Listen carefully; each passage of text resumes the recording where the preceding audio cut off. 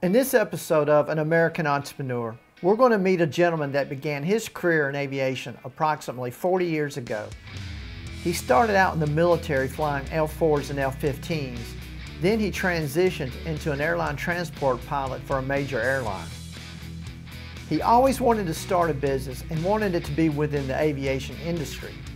So he went to aircraft maintenance school and got his FAA certification and opened Dallas Fort Worth's premier general aviation repair and maintenance shop in Grand Prairie, Texas. It's called J&G Aviation LLC. So come on and join me. He has a lot of advice to share with anyone wanting to start a business of any kind. So introduce yourself and your business, Mike. Um, Mike Jefferson, we're J&G Aviation. Uh, we're a aircraft maintenance, general aviation, uh, privately owned basically, uh, aircraft maintenance business. We've been in business since August of 2015, so we're coming up on our seventh year this year. So what were you doing before you started this business? Well, I'm, I'm a professional pilot. I, um, I've been flying for, for 40 something years. I did flying in both the Air Force and the Air National Guard. Uh, and then I've uh, also flying for major airlines. And So still what- doing that. So how were you inspired to go from that to starting your own business? Well, I you know I always wanted to have my own business, and I looked at a number of different business opportunities. And one thing I knew was I love aviation. I love everything about it. I love the people. I love the airplanes. I love being around it. You can hear the airplanes in the background. It's just it, for me that's a that's a really wonderful place to be. I still look at flying as kind of a magic carpet. So that that kind of said, okay, well, aviation business. And um, I've been flying for a number of years, and uh, some of the um, mechanics that support me over the years would tell you I was busy breaking them. I really wasn't, but uh, so I wanted to give back. You know, I wanted to fix them. Plus, I, I just find it very interesting. I grew up on a farm. Uh, we did a lot of mechanical things just to you know to, to, to work on a farm, and so uh, I, I like the idea, and I always wanted to become a mechanic. So I finally in 2012 I went to mechanic school here at local Tarrant Community College got my A&P license and graduating uh, from that in 2015. Uh, my partner and I, uh, fellow founder Mike Gray, was one of my instructors, and so we founded the business that August of 2015. So exactly what are your services? What are your revenue streams for this business? Well, we uh, primarily we uh, we like I said we take care of the maintenance piece of general aviation aircraft, the uh, sometimes called GA. Um, and the primary pieces of that is every one of these aircraft have to be inspected once a year. Okay, so we do the annual inspections. Uh, we do repair work. Some of them as a result of uh, work that comes out of the annual, but also um, many of our customers, if they have an issue anytime during in between the inspection, we do repairs for that. We do it for transients as they come through as well. Uh, we also do installations. Uh, we're putting new equipment into an aircraft per the owner's uh, you know requests and what they would like to do is a upgrade uh, the aircraft. And finally, we do uh, pre-buy uh, reviews where someone is looking at buying an aircraft, uh, but they want a professional maintenance organization to take a look and find out what what is and is not good and bad about the aircraft. So we do that as well. So what's the bread and butter of a business like this? Well, the, the foundation is the inspections, of course. They come through every year, so you, you know the, the, inspections have to happen every year. Um, and then repairs. That's the primary piece of what we do. Uh, the other things, the uh, pre-buy reviews, uh, the installations we do, but we don't not as regularly and consistently as we do from the inspections and the uh, repairs. Well, this type of business, and correct me if I'm wrong, excuse me, it's more of a recreational kind of pastime type thing. And I would think maybe possibly when the economy goes bad, is are there really a lot of challenges? You, you really feel it real hard in that area? Yeah, well, we're we are kind of bracing ourselves because I think you know right now, as you mentioned, it's a little challenging economically, and I'm not sure that that's not going to continue a little bit longer. Hopefully, not very much longer. Um, so yeah, there is a concern with that. And most of the general aviation is you know recreational uh, traveling. There is some that's done for business. Uh, a number of our owners are uh, small business owners, as a matter of fact, and have their aircraft as part of their business, travel out to see clients or vendors or things like that. Um, but the other side of that, right now in the industry, to pivot, if you will, to the pilot uh, world, there's a real shortage of professional pilots, and it's getting bigger every day. So there are a number of our, our, our clients that own aircraft to go out and build time so that they can then qualify to put in for other flying uh, jobs uh, as they move up the ladder, if you will. Uh, because time is uh, time and experience, as you might expect, is a, is a big deal in, in, in pilot hiring and your qualifications for what you can go do. And we also have a, a contract uh, with the Civil Air Patrol, and that's very uh, it's very been a very wonderful relationship for both us, I think, and for the Civil Air Patrol. So, how many hours roughly does it take to go from zero to get all those hours you're talking about to become, let's say, your basic commercial pilot, and then maybe from that to an airline? Well, you can do. It depends on how how much you want to fly and how hard you want to hustle at it. You can probably get to the commercial pilot, and you know there's also an instrument rating that kind of goes in hand in hand. And I certainly recommend that you get your instrument rating shortly after getting your private pilots, which is the first license. Into, well, your student pilot's the first one when you can go fly around with yourself or your instructor, and then of course private pilot's like what you have yourself.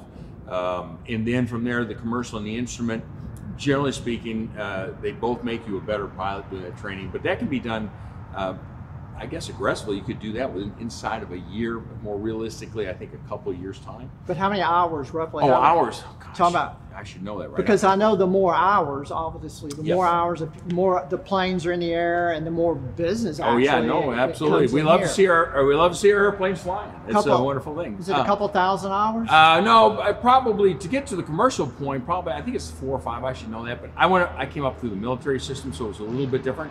I do know as an airline pilot, there's an airline transport pilot rating, and that's fifteen hundred hours. I- I- yeah, that's yeah, fifteen hundred hours. So that you know that could take again. It depends on how much you fly. Right.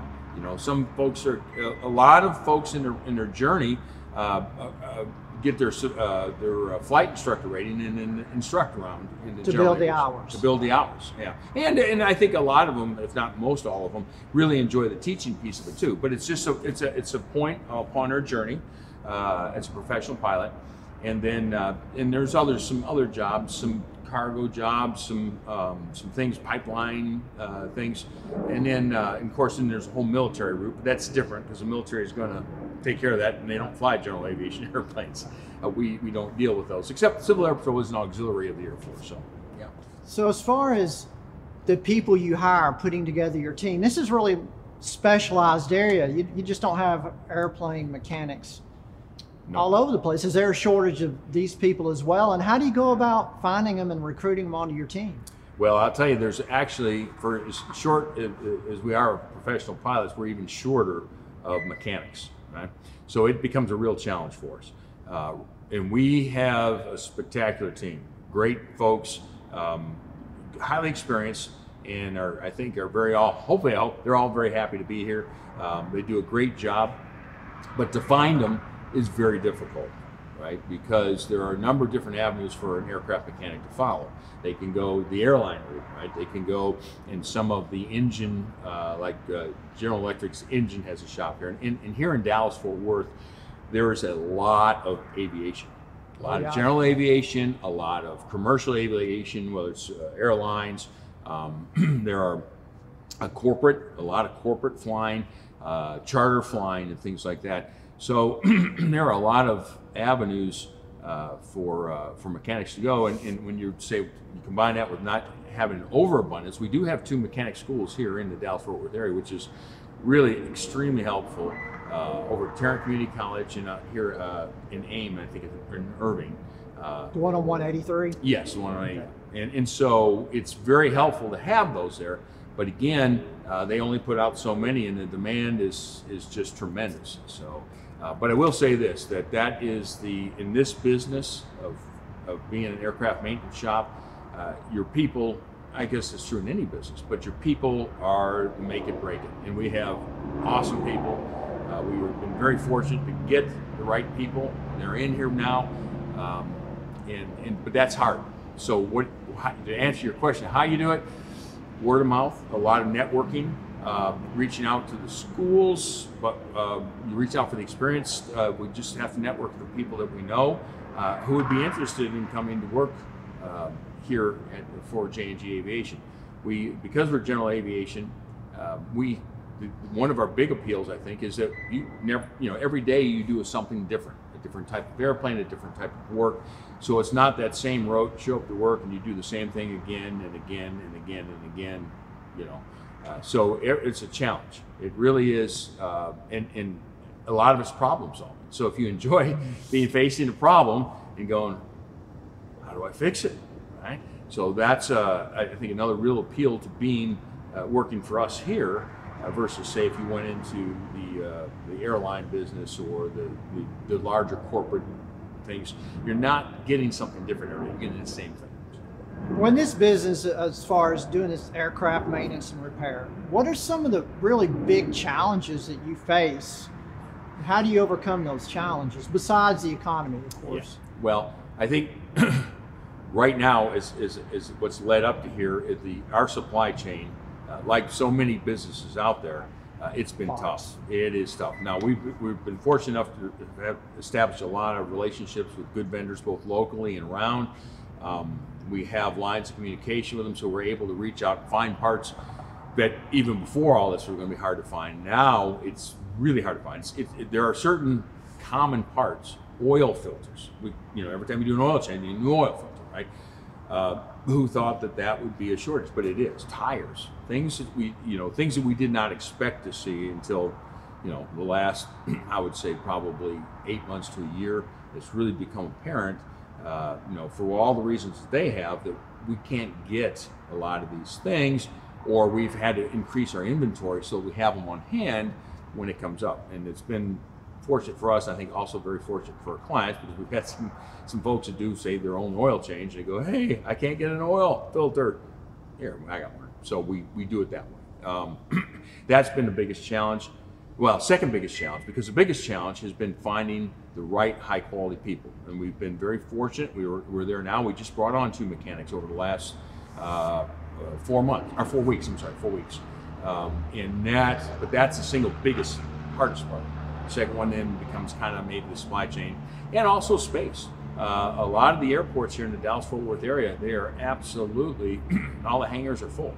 There's just not a lot of opportunities. We've been fortunate enough, we have two. Uh, this is one of our two, about almost, um, let's see, it was about almost 4,500 square foot each. So it allows us to work up to eight normally, but we can, if right size, smaller size airplanes, we can work up to 10. But that's been kind of the, the, the, third challenge for us. So our people first, uh, then probably supply chain. And I would say that the, the, the space would have been the number two, but we've solved that at least for now. We're looking for more space. That's always true.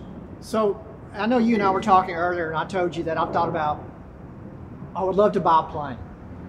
And if I was to buy a plane, let's say a single engine airplane, obviously I'm going to have to have a relationship with someone like yourself.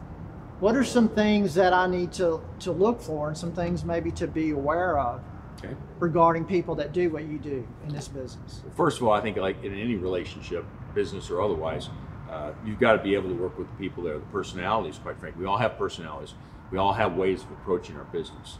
And, uh, and you know, in, in, there are really good businesses and really good people that don't necessarily always mesh. There are things that are unique about one or the other that say, well, it doesn't work. But I would say, so find you a, a shop, if you will, a maintenance organization that you can work with that matches your style. Because we're working for you, right? We work for our customers. Um, they don't work for us. We don't, you know, we, we try to support them any way that they need. So that'd be the first thing. Find that, find a shop that you believe in and, and you can work with. And I would say that usually that has to do with communications, and that's one of the things we try uh, to do. We try really hard to do is maintain good, transparent communications. What's going on? It's not always good news, you know, but at least it should always be the news, the truth, right? Uh, so trust. Big, I got to have a lot of trust in. Our one word for our business is trust. Uh, that, if nothing else, I'll tell you something. You may not like it, but I'm going to tell you the truth uh, as I know it at that point in time. When we communicate on work to be done, whether it's first of all, it's your approval, so you tell us if you want us to do work. We don't do stuff just because we think it needs to be done. We present it to you, we present to you what it will cost, and you say yes or no. We're like I said. So um, I would I would think I know I'm that way. Like with my cars, I want I have a shop. They're in Grapevine that they're awesome. I don't even ask them anymore. You know, it's a trust thing. I trust them to tell me uh, in, in their best judgment what's going on. Well, we're the same way, and, and so we want to have that relationship. Uh, it's too hard. It's too hard for you. It would be too hard for us if you didn't trust us, Right. right? If everything was, well, I'm just not sure. So that is a huge deal. So find your organization that you can trust, and to back it around before you buy that airplane, get yourself a pre-buy review. Doesn't have to be us, but get somebody to look hard at that airplane. Don't set your heart on it beforehand. I got to have that airplane. Okay, but know what it's going to cost you because oftentimes when people buy airplanes, there's things that need to be fixed. That's kind of an adjunct off to the side. Kind of like buying a house, you have that uh, inspection. Exactly. Roughly, what would that cost me if I was looking at a Cessna 182? Mm-hmm. What would that cost me? Okay, well, is there so- a fixed price on that, or, or There is. Just, there is a fixed price, and the way we, we the way we do it here, and uh, it's it worked very well for our customers, I think, um, is we break that inspection into three parts. The very first part, we look at the log books, we look at the reports, we look at the history, if you will. Uh, and at that point, we're looking to see if there's any expensive things coming up. Usually, uh, there's a thing called an airworthiness directive, an AD, and they periodically uh, you you well you have to comply with them, and then there's some that come on in a recurring basis. So we go and make sure they've all been complied with, and if there are any uh, that are coming up that are very expensive, sort of things. So we you want to look to make sure that all the paperwork is right. That's the investigative, really. Yeah, it is exactly it is. It's exactly what it is. Absolutely. And so we finish that. We give a report. We come up with the equipment that's on the aircraft because that matters because there are uh, ADs on equipment as well as the airplane, the engine, and the propeller. We put that together with an AD report, i.e., listing all the things that apply to that airplane or could apply, and maybe they don't for a serial number or something. And we send those off to you, and then we say, hey, all right, that's that. Here's the invoice for that piece. It's a small, it's you know, it's a smaller chopped up section. And for 182 per your request, I think it depends if it has a turbocharger, if it has an oxygen system. But normally, I think it's, don't hold me to this, it's on our website, by the way. Uh, but I, I think it's probably somewhere around 600 or $700, somewhere in that range. Okay? could save you an awful lot of money in repairs or surprises. Listen, so you know, and yeah, we've had folks who've do. gone this and we've said, hey, this is what's out there, this and this and this are coming up. Well, you can do one of two things. It may tell you you don't want the airplane, or it may tell you that Negotiate the price negotiate the price because it's going to have to be done. So then we do that, um, and you say, "Yep, I want to keep looking." So then we do the firewall forward. That's a Okay, firewall. wait, Yeah, that makes sense because you may find so much stuff wrong with it That's right. that why do I want to spend more money? You can like we can we can stop this bleeding now maybe Exactly. or waste. Yeah, full, and, and oftentimes if you, s- uh, uh, and I'm not, you know, different businesses handle differently. A lot of folks will say, yeah, for that airplane, it's a two thousand dollars for pre-buy. Well, that's the whole thing. Well, and ours will be about that, give or take. But here's a chance: you, You like what you see, or you don't. So far, this is where we're at. You want to cut it off. Yeah. Continue. And then we do firewall forward. The reason we do that next, which is the engine and all this stuff here for the cockpit, is because if there's going to be, generally, if there's going to be expense, unless it's corrosion in the rest of the airplane, which, you know, is, is depends how bad the corrosion is, may not be even worth parting out hardly. But this is where the next biggest expense is going to be. And so uh, we come and we run the engine and make sure it makes all the power it's supposed to make and make sure everything works. And we wash down look for any leaks. Um, we uh, do a compression check to make sure there's not leaking uh, in the cylinders themselves, past the pistons or uh, past the uh, valves in the engine. Then uh, we bore scope inside the engine. All right, so all, we do all that and we put together a report of what we found, good, bad, or indifferent. And we send that off to you and we send an invoice for that amount. And again, that's somewhere in that same general give or take neighborhood, you know, six, seven hundred dollars. And you look at that report and you go, ah, yeah, I still like that. That's pretty good, right? So go ahead and do part three. Well, part three is firewall back, if you will. We look at the outs, exterior aircraft. We look at the interior of aircraft. We have a, a particular emphasis looking for corrosion because that's something that can be very expensive uh, to, to solve if you have to solve that, right? Uh, anything that's broken or things, we check the avionics. We, you know, see see what the rest of the airplane is, and then we, again we send out a report. We send out an invoice, and now at that point, now you're at that kind of lump sum, but you've gone. So anywhere along the, the line, you want to pull the plug on a review, we stop right there, and you haven't sunk extra cost uh, on into the aircraft. So. Well, that would make me trust you a lot more. That's for sure. Yeah. Well, that's that. You know, again, everything we everything we do, we try to build the trust between both of us, right? Um, and it's important. It's critically important, quite frankly. If you didn't trust us to fix your airplane, to give you the answers best that we know them to be true, uh, it's not really a relationship. It's kind of a Right. more of a contest, right? And I'm not. We're not interested in that. Never have been interested in that. So. But when you build those relationships as well and trust, you you get long-term contracts, long-term business, and you come out ahead in the long run. So You do. From Yeah. a business perspective, absolutely. Uh, you know, I- it, kind of, I always use the word term mercenary, but it is. I mean, it from a business perspective, it makes sense. From a personal perspective, I couldn't do it any other way. I, I just, my, my history has been, I, I'm not like that. I can't, so I don't. So tell me a little bit about your marketing efforts. I know you're mostly word of mouth, but is there any kind of marketing that you do for this kind of business? Yeah, the so the word of mouth by far and away is the most effective because people, you know, I can say that we're really good, we're really great, and we really are. We're really good, we're really great. However, I'm the same way. Somebody says it about themselves, you go, okay, yeah, sure. I want to hear it from somebody else. So one of our most effective uh, forms of marketing is our customers go out and they say, you know, J and G has done great work for us and then they tell it to a friend who has an aircraft, or they tell it to a friend who tells a friend, or somebody's out looking. Do you know any good aircraft maintenance firms? Go, yeah, J and G Aviation. So that, by far and away, is our most effective. Um, and you know, I think most businesses depend on word of mouth to a certain extent, but there's a passive way, and then there's going out and asking for some help. I mean, Well, I know the general aviation community is a small, close-knit community. it is. If you mess up routinely, Huh? Yeah. you're out. Yeah, you've got it. You've got it. Yeah, that's exactly right. You're. Uh, it's like a magnifying glass on that sort of thing. So Everybody knows everybody. marketing can be good or bad, right? It's. I mean, now all the assessments are out there. You know, we're. I mean, we're a we since 2017 member of Better Business Bureau, that sort of thing. And but again, those aren't necessarily always where everybody goes to look first off for an aircraft uh, maintenance. One of our other really effective ones has been Google. Uh, Google My Business now it's called Google something. They just changed it. But because we're local, right? Geograph- geography matters. Um, so some aircraft maintenance, Dallas Fort Worth, and, and then we want to come up on that, right? And so and we're we, right between Dallas and Fort yeah, Worth. that's right. right. So anybody, uh, we figure most of our, the vast, almost all of our customers come from within probably 50 miles outside the ring, outside of Dallas Fort Worth area, and, and most of them inside of that. Most of them here at the Grand Prairie Airport. Uh, so, but Google My Business is a really good marketing. So, so it's not. I guess it's not exactly social media, but we also go on social media and, and we share what we think is really good information that, that will help people. Um, that's an important uh, piece of that. And again, it's just uh, gets our name out there, right? People, oh, J&G Aviation, I've heard about them.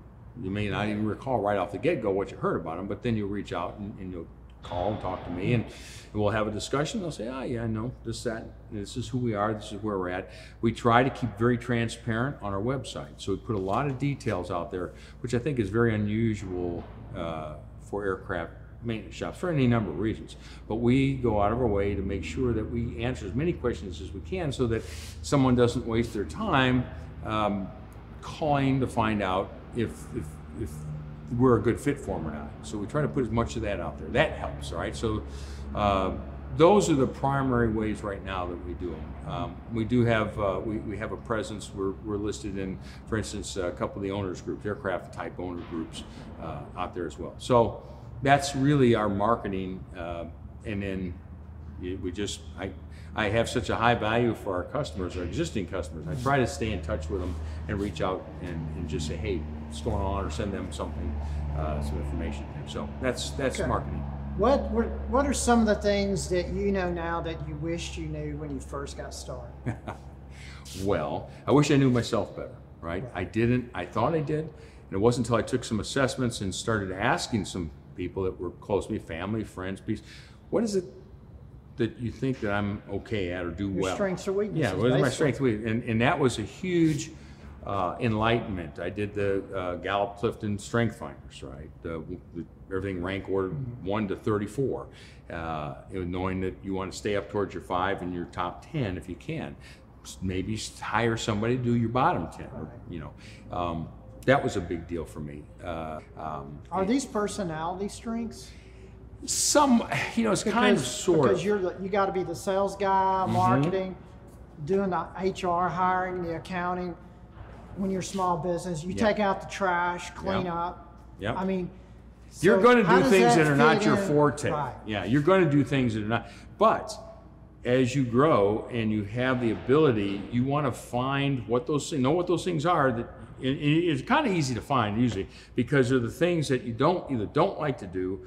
Well, usually you always don't like to do them, and when you do them, it just drains you mentally, physically. You just go, God, and you think if I could have been doing this other thing, I could have done it 10 times better, 10 times more, 10 times whatever.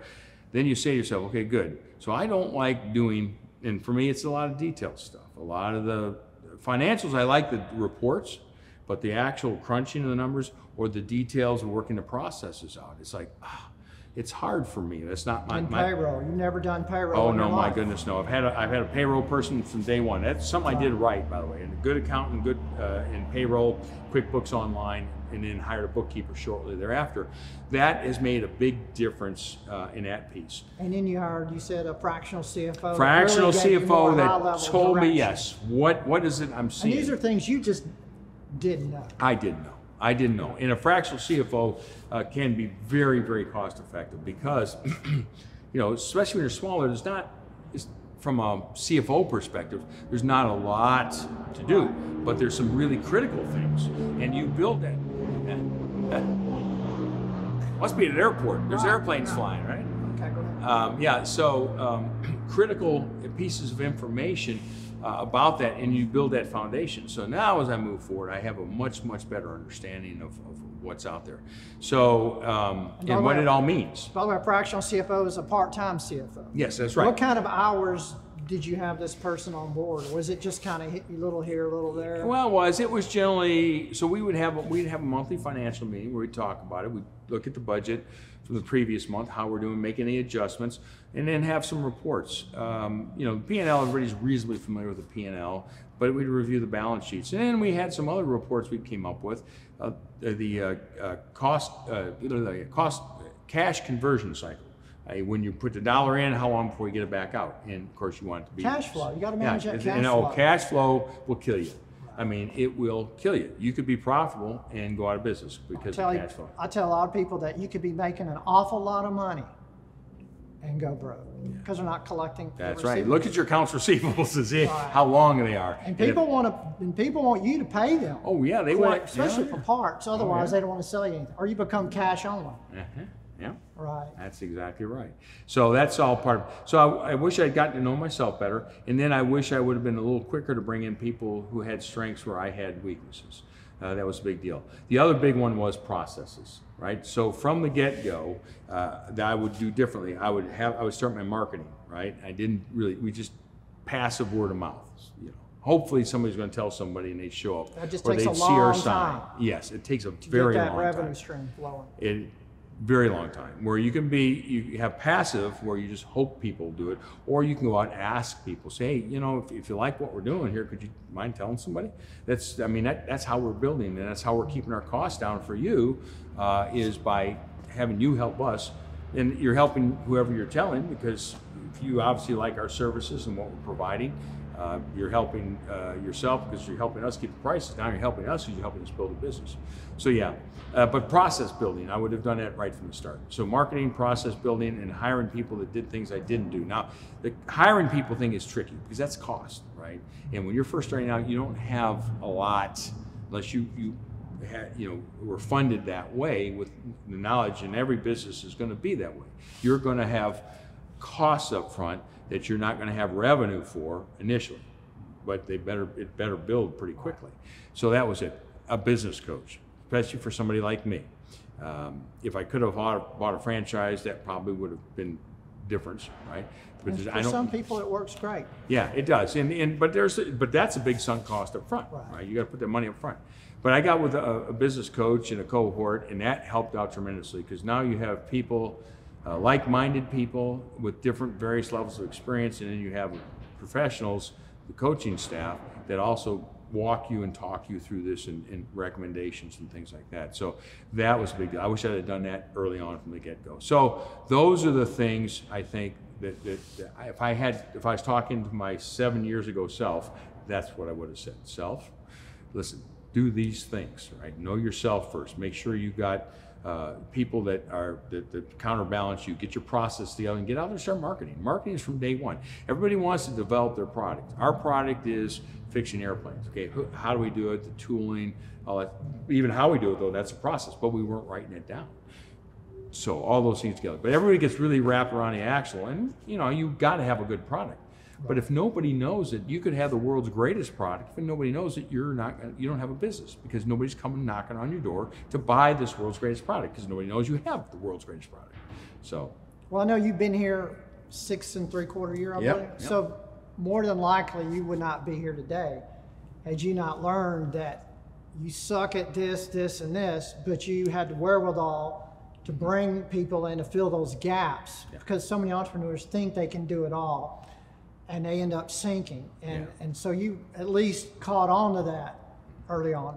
Well, one of the things that really popped in my head when you were talking about processes is you've got all these mechanics and they're working on these different planes.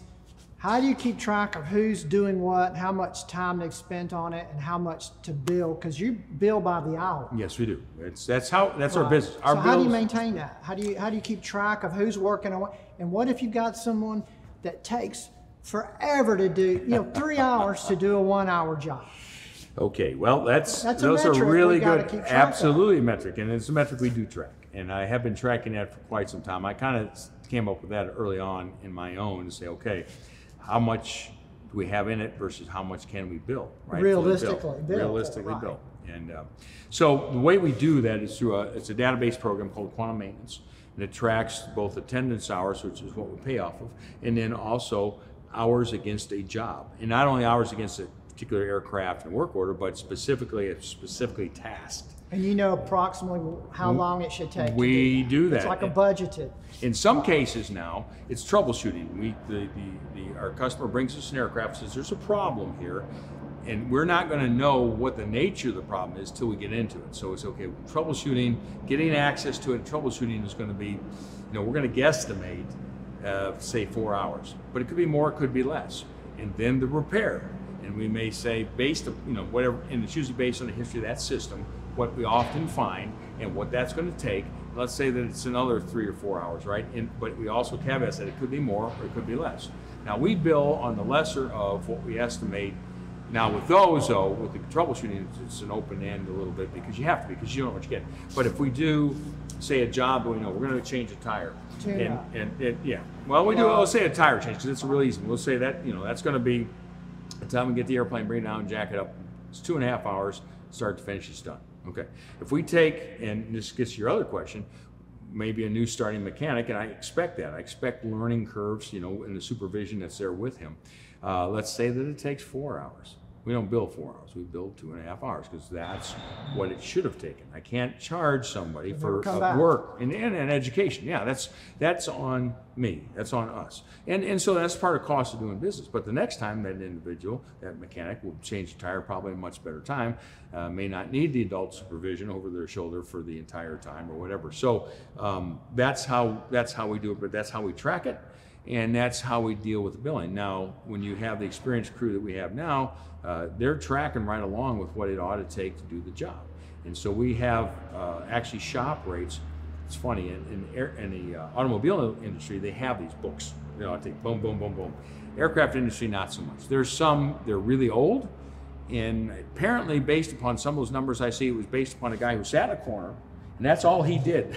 is that one thing. Super proficient. Know And I'm going, eh, there's no way we can do that in an hour and a half. We've done that 20 times and it takes two hours.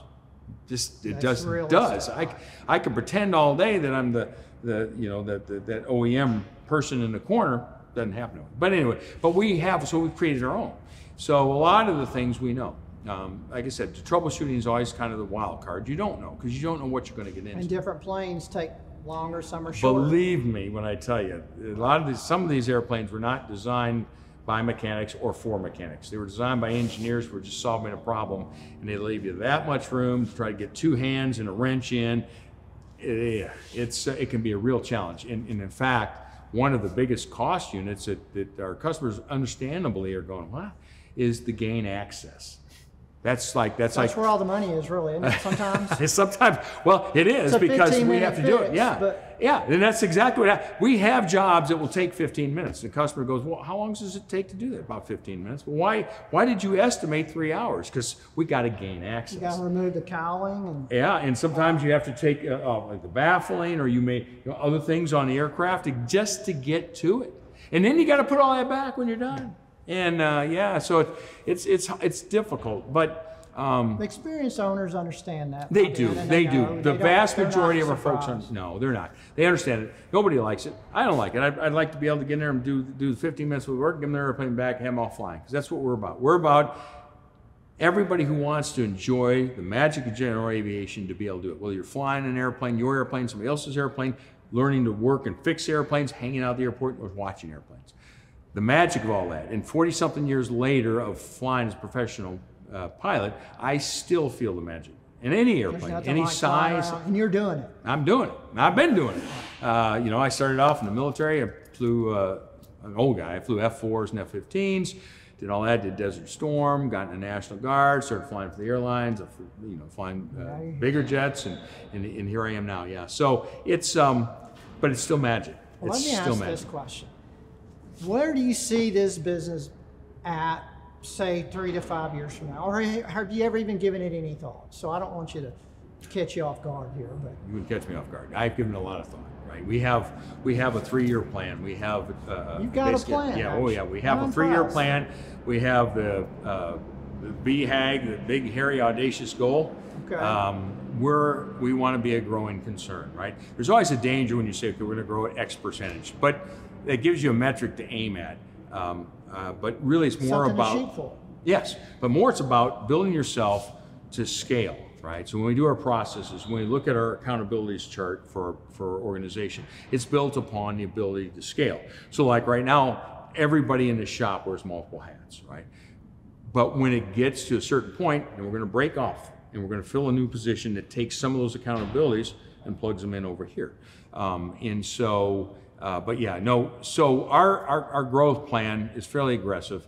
Um, so we plan to not quite double because the last two years have been very slow for us. So we've got everything in place, and it's happening now. Our business, our volume of business is such um, that given if we can get the right people and we can get a, probably I'm going to need a little more space, we should be able to double within two years' time and go So you- forward from that. So you've got two different hangars Mm-hmm. With Yes, you one do. hangar in between. That's right. Maybe. But I know- Who knows? I'll- yeah. But how many? so how many total square feet do you have? We both well hangars combined? work yeah working space uh, because we have you know some taken up by offices a little, not a lot of office space but some office space and of course on a perimeter we have some of our little sub shops where we work on tires or brakes or electrical stuff things like that um, but and these hangars are a little over 5,000 square foot each so if you know if you're going to say conservatively you would say you have probably at least 4,000 square foot of floor space per hangar times two is 8,000. Realistically, I think we've got somewhere around 8,500 to 9,000 square foot of floor space. We can run comfortably four airplanes per hangar, so eight airplanes at a time. Uh, and then sometimes we may be able to fit a, another smaller airplane in, depending on what we're doing. But so, you know, and that would support probably a couple more mechanics, you know, and where we're at right now. But right now, we're, again, getting our processes right. And, and, you know, and that's an important part. So you've got to get the process far enough along the road that you go, everybody can go, yep, that's what we're doing. And then as you do them, you go, you know, if we tweaked that or we twisted that over there, we did that first before this, you can find yourself with some big efficiency gains sometimes. Right. And our, you know, our one, our number one cultural uh, uh, value here in the company is the Japanese word for kaizen, which is continuous improvement. Not a lot, right? You do it a little bit every day. And next thing you know, you go a week or a month and suddenly you've got some significant progress. So we're always trying to get better, a little better. I mean, if there's an opportunity to get way better, we will. But usually it comes in increments, and that's so that's kind of how we do things here. Do you have monthly, weekly meetings where you bring the whole team together We and do. discuss uh, what you're not doing well and what you could be doing better and how do you get there? Yes, we do. We have uh, a weekly task We meeting every Monday, okay? And we have everybody together in a company, uh, usually done over Zoom. You know, it can happen out of a thing, Zoom there, but we have uh, one person that the remotes uh, four out of five days a week. The mechanics are all here, but you know what? If I drag them up there to the meeting room, it takes that much longer to set it back up. So they all sit up on their desk and we all jump into Zoom and we, we talk, uh, you know, find out how everybody's doing. So no coffee and donuts. Well, I bring I'll bring those down for them later. Uh, they, uh, but yeah, well, we just so kind of a welfare check and everybody, how you doing? Uh, we share calls for a cultural moment, right? About something about us and what we're about. Um, that's about theoretically my only speaking part, but if you can probably tell, I have a hard time not talking. So everybody goes, Hey, you're outgoing. yeah. So uh, You're a but- typical entrepreneur. so Go we ahead. do that. Well, I'm, I love what we do, and I think we've we've done a lot of really good stuff. But then we go and then we go over um, what's on our plate for the upcoming week, and um, and so we like do. parts that. problems. I guess you're still waiting on this Yeah, part. that's on that right. Right, and what airplanes and what's the flow? What's the next airplanes in? Where are we at? Um, do we need? Who do we need to reach out to? Uh, yes, those sorts of things. And then um, we also, uh, you know, I, the last couple months I haven't done it. We should have. It's just we've been so busy. We were shorthanded. We do a, a monthly uh, town hall and in a quarterly town hall. Right? How did we do? Just a real quick 15, 20 minute again, we gathered together, but to cover things we didn't necessarily cover. And we're an open, open book uh, company. Anybody wants to know how our numbers are, what we're doing, they have access to it. We present uh, the revenue numbers and things because those are part of our goals and accountability. That's the other part of the weekly task goal is we have a scoreboard and we all have things we're accountable for. And we all have to answer for how come that's red? Can, what can we do for you to help you get out of the red? Not, not a finger pointing. You don't want that. I don't want that. I want to know because we've got good people. So if they're in the red, there's a reason they need. Maybe I can get them something, or maybe we can change or something, right? But that the accountability piece, and that's our third, uh, our third of our three core values is accountability. Number two, by the way, is is transparency amongst ourselves when we use Slack for that, and also with our customers. You gotta say what them in the loop. Slack is real quick. So- Oh yeah, yeah, yeah, yeah, yeah. Slack. So Slack is a communication tool. It's kind of my wife's business. They uh, they had that right. And I said, what is it? Is it like texting? She goes, yeah, sort of, kind of not really, right? But it's a messaging thing inside an organization, and actually you can go outside the organization with it. But you create these channels, kind of conversations, and so it's ready built for us because as we have an aircraft come in, there's a work order that goes with it. We build a channel, and everything we talk about that airplane, a part we might need, or a problem we might hear, or somebody talk to the owner, or whatever. you can see it's it, and it's all stays right there. You don't have to go hunt for it. You don't go through your emails. You don't go through your texts. You, it's all right there. So in house, we stay inside the Slack channels to communicate. It's a wonderful, wonderful tool, and that way, anybody, the director of maintenance, the shop supervisor, the, the team lead on that aircraft. Everybody knows what's going on. The parts, uh, purchasing department knows what's going on. It's all right there to find. So that's yeah, we we but that's a critical piece of how we keep that transparent com going to ourselves and then going out to our customers usually through an email or a phone call or sometimes they'll come in uh, we try to keep them in the loop about what's going on and we never move forward on anything without their approval okay and both in, in scope as well as cost and we found that that uh, first of all it, it- it's that is a real big pain point for customers and rightfully so for me too when i take my car to the shop. The one i the, the shop we've been going to now for a number of years i trust them just like i, I hope and we try to build the trust with us. But you go in there and um, you know we tell them what's going to be and either yes or no and if you don't want us to do that we won't do that because we're working for you. We're not working for us. We're working for you so What are some pieces of advice you could give someone, some guy that's a mechanic that dreams of having his Mm-hmm. own business? What are some things? I guess you kind of really covered it, sort of. Know yourself, hire Mm-hmm. people to fill in the gaps. keep in mind, I would, I tell you this one. Uh, so I'm a big reader. I like to know things, right? I'm a high level fact finder, whatever that means. I know what it means. It means I like to know things and I like to find out where they fit and I like to share them with people. What I would share with you is I read a lot, and this came out of the business coach and the cohort. A lot of books. Jim Collins, any one of his books would be great. Uh, they're good. But there's one particular one uh, that I didn't read until about two years ago. And, uh, and I do a lot of audiobooks driving back. It's about a 25 minute drive to get down here. Um, so I go through a fair amount. I mean, it's not, it's not some rapid, you know, because a lot of these books are six, seven, eight hours. Um, but it's called the E Myth Revisited. And I, and I wish I could remember who the author is. But in that, they talk about the process piece, okay? And that would be what I would say is all the things I talked about before as far as what I would do differently. But get in there and look at the process piece. And they talk about even a single one off small business that you're not going to formally franchise, maybe not now, maybe later, who knows. But the idea is you treat it like you're going to. Like, let's say that you wanted to franchise yourself out, all right? And, and that may be how you grow. Maybe it's a, you, you do like one, you set another one up, but you're franchising. But here's the thing: when you go set up that second one, you just did all this. You, yeah, you know this. I forget more. I've already forgot what I had for breakfast, right? So you write these things down, and then you pick it up and go. You know what it's going to cost. You know how many people you got to have. You got to know, you know, kind of what the kind of people you got to have. Um, and so read the Myth Revisited. Get that sense. It's just told the story from a, a young lady that has a pie shop. But what I was going to go with on that is one of the distinctions they make because you said, okay, say you're a mechanic and you want to start your own business. Absolutely. And that's how small businesses start. You have something that you're you're good at, you have a passion for, and you know you can do it better than if you're working for somebody, the boss or or other shops or whatever it may be. And you jump into that. Never forget that you are really good at that and what you're doing because as a craftsman, and in this book, they'll talk about the entrepreneur, they'll talk about the manager, and they'll talk about the craftsman. And we all have pieces of those in us. Can't Some, do it all. Can't do it all, and you rotate around between these, but be careful. If you're a craftsman and you want to be free to pursue, in her case, she makes pies. In our case, it would be fixing airplanes. Focus hard on that. Yeah. You if you're going to start a business, you're going to move over to the entrepreneur side. And if you if that's not suitable to you, see people try to stay in a craftsman piece and all the other stuff they try to do the, the entrepreneur stuff, but it's painful and you can't scale as a one man band. You just can't do it.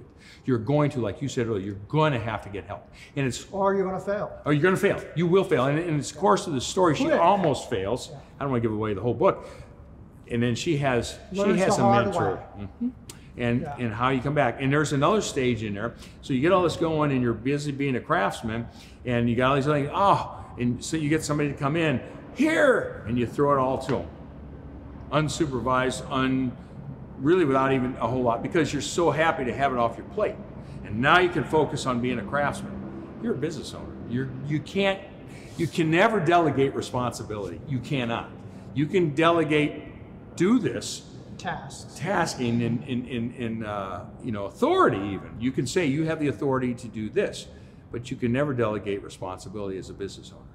So you've got to keep your hand in. So you're going to have to take some of that transition time to make sure that that person knows. Anyway, that's part of that story that you see that when you do that, and it is, it's such a relief to have somebody come on board. And oh, by the way, uh, I've had those moments, right? Had people I thought were going to be able to do it, and I just didn't spend the time making sure that they understood my vision and where we were going. And that's critical, absolutely critical. But so all that goes back to read the E-Myth Revisited. It's really, it's a really pretty easy read. Uh, or audiobook, either one, but it will give much enlightenment to that idea of, of craftsmen who gets in, starts doing these other things, gets overwhelmed with payroll, with insurance, with rent, with facilities management, HR, you know, uh, HR, all that stuff. Yeah, because as soon as you start bringing other people on board, your your uh, issues go up exponentially. And um, well, how long were you in business before you came across this this book here?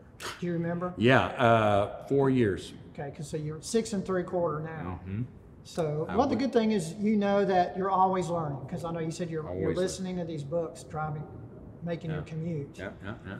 And so, uh, well, that's really good advice. Well, I know also too, I found it so interesting that you brought in a fractional CFO So uh, fractional CFO is just someone that works part time. So how has that worked out for you? Has that really, really been really Really, helpful really since You're not a financial guy. Yes, I'm not, in not in any way, shape, or form. Did he Uh, put together your metrics and your Mhm, he did. reports He and did, and he explained a lot of things to us. So there, uh, speaking of books, there was another uh, book, uh, was it S- Scaling, I think was the book. Um, I'm trying to remember the name of the author, but it talked about what you had to do. And one of the things was a large section on the financials, and you have to understand the financials. I mean, you can go broke not knowing you're going broke, right? You need to understand. So the accounts receivable we talked about earlier is, is, is one of them, but you got to be able to understand, you know, what does it cost to produce what it is you're selling, right? So that's the COGS piece of that versus the overhead cost and how that all ties together. And in in trending it in the right direction and knowing how you're going to do that and having a plan for that. And then, like I said before, the cash conversion cycle. And there's a number of other things that have come up. Now, Tony, our, our um, CFO, has uh, gone into a full-time gig now. Uh, he he had retired. He was doing that, but he's. I think it's uh, the horse head in the bed. You know, a, a, too good a deal to pass up.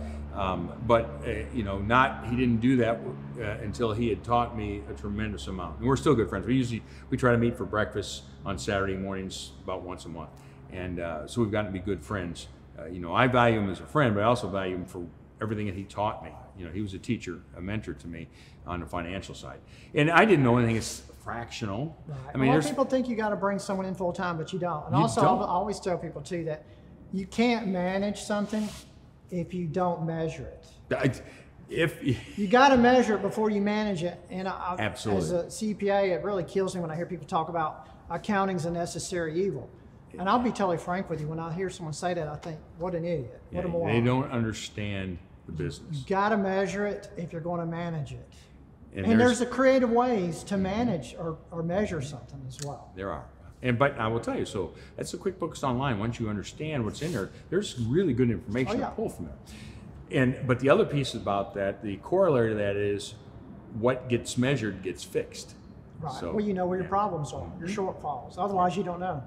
Yeah, and, and it's hard. And so we have a scoreboard. We've had it for a while now, but we're we're you know, what is it that matters to you? And then how do you fix it? Your key right? performance indicators. Exactly. That you got to have that, and you want to get as drivers. uh, yeah, you want to get as far in forward of that as you can because a lot of them are lagging. It's like metrics and understanding them and what they're telling you and how to determine.